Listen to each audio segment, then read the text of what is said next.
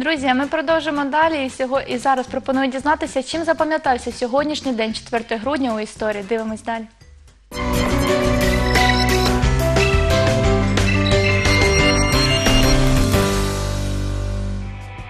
1935 року компанії Netscape і Sun у співробітництві 60 компаній анонсували створення мови програмування JavaScript. Ця мова призначена для перетворення традиційних статичних веб-сторінок у динамічні інтерактивні документи, здатні більш повно задовольнити інтереси користувачів інтернету.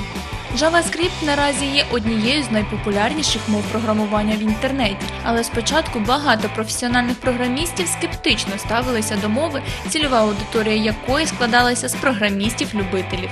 В результаті були розроблені та покращені багато практик використання JavaScript, зокрема тестування та налагодження, створені бібліотеки та фреймворки, програмні платформи, поширилося використання JavaScript поза браузером.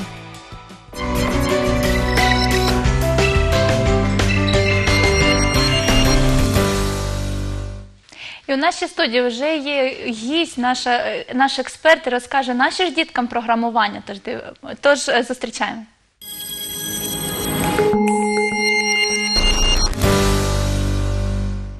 Тож до нашої студії сьогодні завітала Ольга Крисенко, адміністратор школи програмування. Доброго ранку, вітаю вас у нашій студії. Отже, поговоримо про навчання дітей програмуванню. Наш, яка мета? Но на самом деле программирование для детей, как на сейчас, очень важно.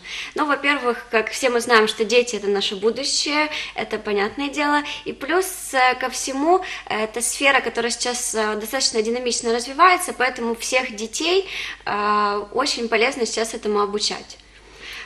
Е, Чому? Ну просто е, ми знаємо, що усі ці гаджети вони погано впливають на здоров'я. Е, Як ви з цим е, владнаєте, може, впр- е, вправляєте, щоб вони не сиділи довго чи які у вас Ну, е, методи? Да, здесь э, просто достаточно все повернуть в такое правильное русло. Например, если взять э, игры, да, э, то сейчас все дети, они сидят э, либо в компьютерах, телефонах, планшетах, постоянно в играх, и это можно тоже повернуть в правильное русло. Э, Например, э, их как-то залучить к разработке игр. То есть э, они могут э, сами создавать себе игру со своими правилами, со своими какими-то уровнями интересными, делиться с этим с друзьями и плюс получать уже себе э, опыт для своей будущей профессии. То есть что очень тоже важно и интересно для детей. Добре, з якого віку краще починати вчити програмування? А на самом деле программирование можно учить буквально там лет с трех. То есть э, э, Вже все розуміють.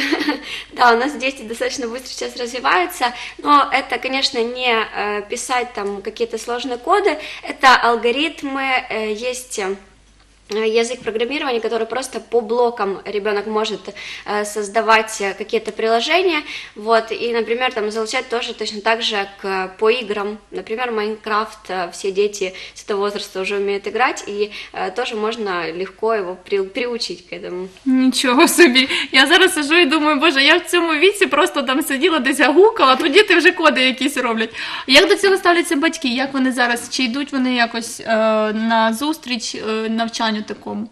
А, Да, родители сейчас, наоборот, поддерживают, потому что вообще программирование в целом, вот у нас, когда э, есть такая, возникает ассоциация, когда мы говорим программист, что это человек, который просто вот сидит, что-то печатает, это такая рутинная работа, но на самом деле это намного больше, и он объединяет в себе много всего. Во-первых, это английский язык, то есть то, что всегда будет актуально и полезно для ребенка учить.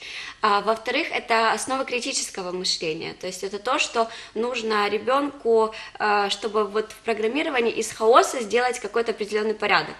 А, плюс это навыки soft skills, то есть э, работа в команде, потому что в любом случае, когда работают программисты, они должны работать э, организованно, чтобы в результате дать какой, э, в результате дать какой-то Як система положительный- має да. працювати? Да. Ну Добре. и, конечно же, плюс э, языки программирования, которые тоже помогают потом детям. Добре, наскільки зараз це актуально, це програмування? Трошки ще раз більш детальніше. А, Ну вот э, сегодня ехала на эфир и готовилась, смотрела, а, что в ближайшие 5-6 лет а, будет э, более пол- полутора миллиона вакансий именно в IT-сфере, потому что она очень сильно развивается. То есть уже у нас есть и умные дома, и роботы, и разная техника, которые нужны специалисты, которые всегда будут актуальны. И, э, например, школа наша, да, там, программа образования, школы в институте, они э, не совсем с программой успевают за таким динамичным развитием этой сферы, поэтому хорошо, что у детей есть возможность больше как-то залучиться к этому э, и еще развиваться и попробовать себя в этой профессии и решить, э, может это действительно это его будущее уже с ранних лет.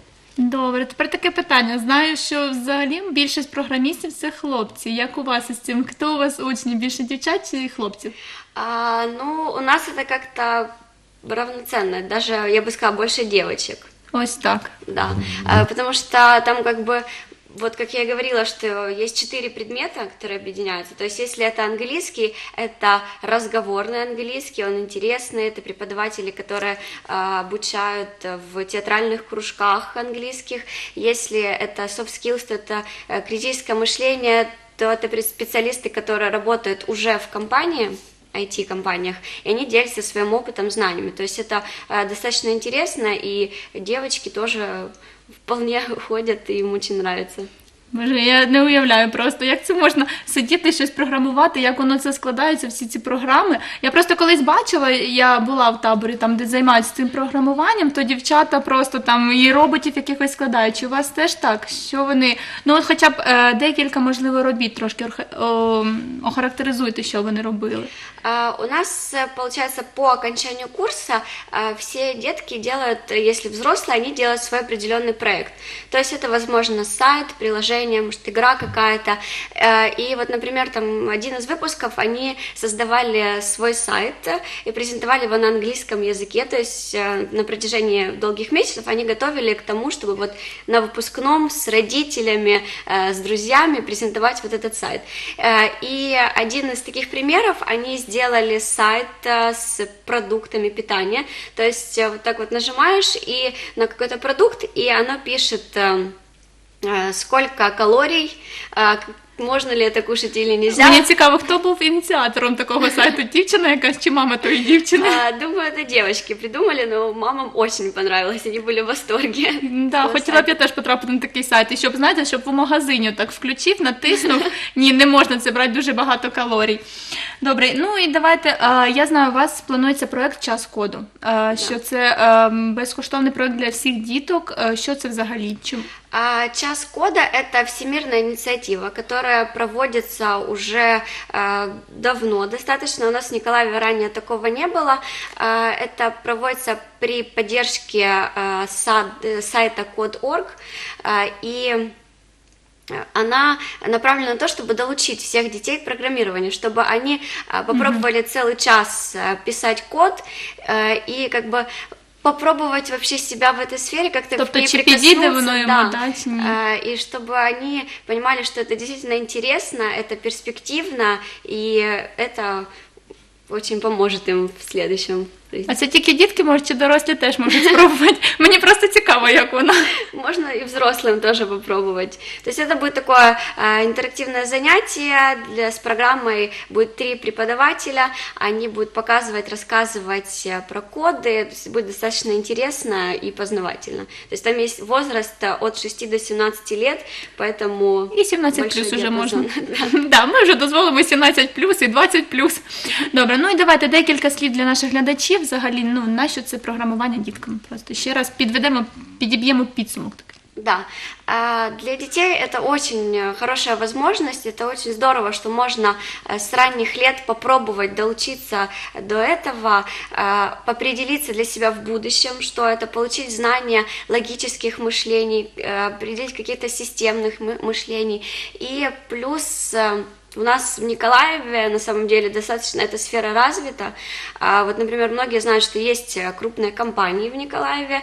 А, Вот я знаю, что дети любят э, очень игру в танчики, work, э, world tennis, да. Я не знаю, я не, я не грала, ну щось. Вот, да, многие об этом знают, слышали, но немногие знают, что эта игра разрабатывается у нас в Николаеве, то есть дизайн для этой игры разрабатывается у нас в Николаеве, в нашей компании.